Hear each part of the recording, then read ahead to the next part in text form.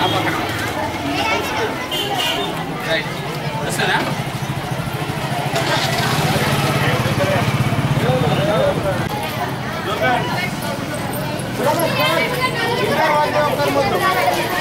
Silakan.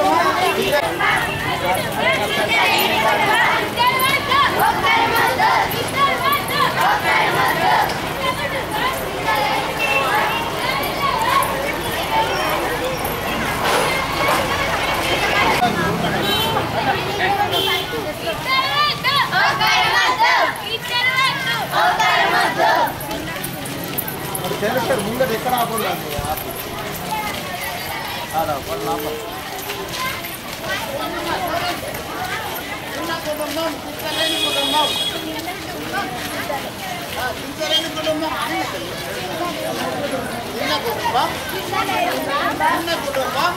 July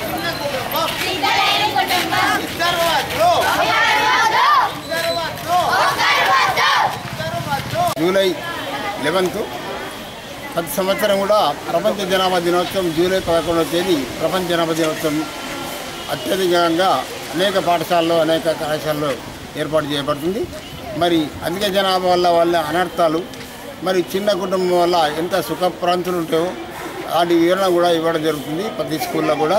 head master మా PMP రాష్ట్ర సంఘ ఆధ్వర్యంలో ఈరోజు మన పురాణపేట్ హై స్కూల్లో ఉన్నత పాఠశాలలో గవర్నమెంట్ హెడ్ మాస్టర్ గారి మరి వారి టీచర్స్ స్టాఫ్ అందరూ మాకు అవకాశం కల్పించినందుకు వారికి ధన్యవాదాలు తెలుపుకుంటూ మరియు ఈ రోజుల్లో చూసినట్టయితే అనేక సమస్యలకు కారణం ఏంటంటే అధిక జనాభా.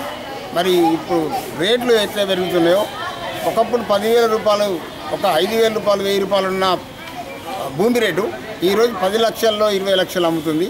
ఆ విధంగానే విద్యార్థులందరూ ఎన్నో ఉన్నత చదువులు చనిపోయి అక్కడ ఉద్యోగం రాకపోవడానికి కారణం ఏంటంటే నో వేకెన్సీ అని బోర్డు పెడతా ఉంటారు. ఉద్యోగం రాకపోవడం కూడా అధిక జనాభానే. కాబట్టి మరి ఈ రోజుల్లో ఆడపిల్ల పుట్టినట్టయితే ఎంతోమంది కూడా చిన్న మా కొడుకు పుట్టేదాకా ఆపరేషన్ చేయించుకోని ఒక అపోహలతోటి వారి జనాభా పెంచుకుంటారు. కాబట్టి ఒక ఆడపిల్ల పుట్టినప్పటికీ కళ్యాణ లక్ష్మి కాబట్టి ఒక లక్ష్మి గృహలక్ష్మి కాబట్టి అమ్మాయిని కూడా అబ్బాయితో సమానంగా చూసుకోవాల్సిందిగా మేము కోరుకుంటూ మరి మా అవకాశం ఇచ్చిన Puranapeta high school head master గారికి మరి స్టాఫ్ అందరికి కూడా మరియు విద్యార్థులందరికీ మేము అభినందనలు ధన్యవాదాలు తెలుపుకుంటూ. లో ప్రభుత్వ ఉన్నత పాఠశాల పురాన్పేట స్కూల్లో ఆర్ఎంపీ వైద్య సంఘం ఆధ్వర్యం మరియు మా యొక్క విద్యార్థులతోటి ప్రపంచ దినోత్సవం ప్రపంచ జనాభా దినోత్సవం సందర్భంగా పురస్కరించుకొని మేము ఈ యొక్క చుట్టుపక్కల పురాన్పేట చుట్టుపక్కల ప్రాంతంలో ఉన్నటువంటి విద్యార్థుల చేత ఒక ఘనమైనటువంటి ఒక ర్యాలీని నిర్వహించడం జరిగింది. మా ఉపాధ్యాయులు మరియు విద్యార్థులు అందరం కూడా ఈ ఒక నినాదాలతో ఒక ప్రజలల్లో ఆ చుట్టుపక్కల ఉన్నటువంటి కుటుంబాలలో అవగాహన కల్పించడానికి ఒక పిల్లలు అంటే ఒక నినాదాలతో వెళ్ళడం జరిగింది.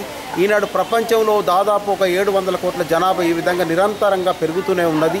ఆ నిరంతర పెరుగుదలను నివారించడానికి ఈనాడు ప్రతి ఒక్కరూ ఒక జనాభా విద్య అనేటువంటి అవగాహన ప్రతి ఒక్కరిలో వచ్చినట్టయితే ప్రతి కుటుంబంలో వచ్చినట్టయితే ఈ జనాభా రాను రాను దాని యొక్క దాన్ని తగ్గించుకోవడానికే మనం ఉండాలి. ఈనాడు ప్రపంచ జనాభా ఒకప్పుడు చైనా దేశము ఫస్ట్లో ఉండే దాన్ని అధిగమించడానికి ఇలా భారతదేశం కూడా ఈ విధంగా ఎక్కువగా పెరిగిపోతున్నది. కాబట్టి ప్రపంచంలో ఈ యొక్క జనాభా పెరుగుకుంటా పోయినట్టయితే మానవునికి సంబంధించినటువంటి మౌలిక వనరులన్నీ కూడా క్షీణించి అనేకమైనటువంటి సమస్యలు ఏర్పడతాయి. అలాంటి వాటిని కాపాడుకోవాలంటే ఈనాడు జనాభా విద్య ప్రతి ఒక్కరిలో అవగాహన కల్పించుకొని ఈ యొక్క జనాభాను అరికట్టినట్టయితే దేశంలో ఉన్నటువంటి వనరులన్నీ కూడా అందరికీ అందుబాటులో ఉండి ఈ యొక్క మానవునికి ఎలాంటి సంక్షోభం లేకుండా అన్ని వనరులను కల్పించుకొని ముందుకు సాగేటువంటి పరిస్థితి ఉన్నది. అదేవిధంగా మా పాఠశాల విద్యార్థులు కూడా జనాభా అవగాహన కల్పించి ఇప్పటి వరకు సమావేశం ఏర్పరచడం జరిగింది. ఆ సమావేశంలో డాక్టర్ మన డిఎంహెచ్ఓ జయపాల్ రెడ్డి గారు మరియు మా ఉపాధ్యాయులు అట్లే మా వార్డు కౌన్సిలర్ శ్రీనివాస్ గారు అదేవిధంగా డాక్టర్ రాజగోపాల్ గారు ఒక సంఘ సేవకులు వారు కూడా ఈ యొక్క ర్యాలీని వాళ్ళు మమ్మల్ని ప్రోత్సహించి ఈ విధంగా వారు మాకు వెన్నుదట్టి ఈ విధంగా ర్యాలీ తీయడం జరిగింది. కాబట్టి జగిత్యాల ప్రజలారా తప్పకుండా మన జనాభాను ఇంకా కంట్రోల్ చేసుకునేటువంటి పరిస్థితి ఉంది- ఎందుకంటే జనాభా జగిత్యాలో ఒక మూడు వందల పన్నెండు జనసాంద్రత ఉంది.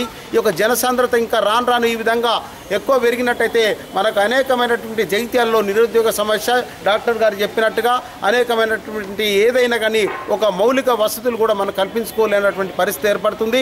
అదేవిధంగా ఇవాళ యావ యా- యావర్ రోడ్డు గుండా ఇవాళ జనాభా పెరగడం వలన ఇవాళ వాహనాల రద్దీ జనాభా రద్దీ ఇవన్నీ కూడా ఉన్నాయి. ఎందుకు అంటే అక్కడ యాక్సిడెంట్లు కూడా మొన్ననే ఒక యాక్సిడెంట్ జరిగింది. కాబట్టి ఇలాంటి యొక్క జనాభా నియంత్రణ చేసుకున్నట్టయితే ఈ యొక్క రోడ్డు పైన కూడా రద్దీ కూడా తగ్గుతుంది. కాబట్టి మనం తప్పకుండా ప్రతి కుటుంబము ప్రతి ఒక్క మేధావి ప్రతి ఒక్క విద్యార్థి ప్రతి ఒక్క నాయకుడు తప్పకుండా దీని యొక్క అవగాహన కల్పించుకోవాలని కోరుతూ ఈ యొక్క అవకాశం ఇచ్చినటువంటి అందరికీ ఈ యొక్క నా యొక్క కృతజ్ఞతలు తెలియజేస్తున్నాను.